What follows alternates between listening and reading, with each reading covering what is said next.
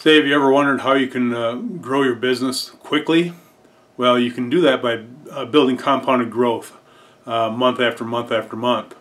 So what I mean about that is that's where you would go out and uh, let's say you get an account for $300 a month and you do that month after month and you do it for 12 months, well, you end up uh, eventually you're going to generate $23,400 worth of revenue. So, you know, that's what the whole compounded growth is all about. Um, it, it's quite amazing when you start running some numbers uh, and seeing what you can do.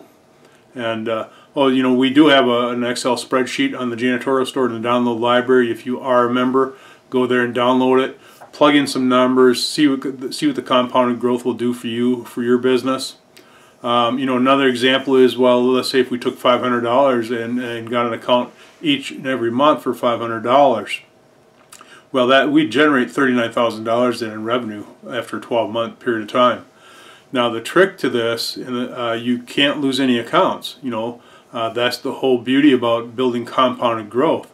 You know, um, you can't lose any accounts. So if you go uh, and you get, uh, you know, a $500 account in January, and then February you get a $500 account, and then on uh, March you end up getting another $500 account, but you lost one. Well, that kind of sets you back. So now you now you've uh, you lost your momentum in your compounded growth.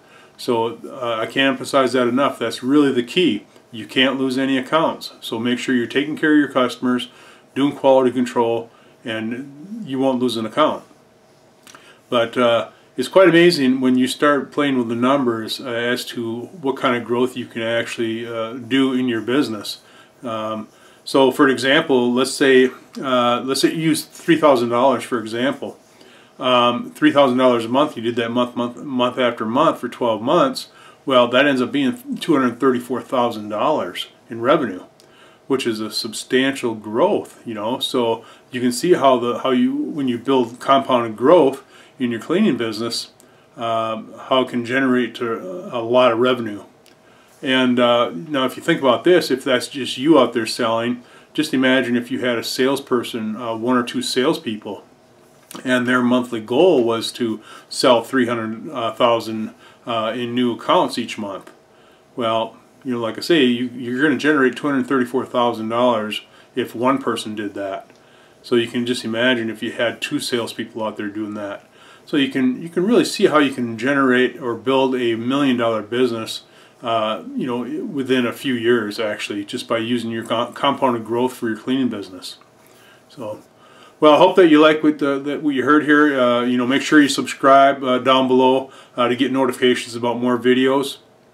And, uh, well, you know, that's about all I got uh, for today. So, make sure you comment and like and share the video, and hope to see you next time.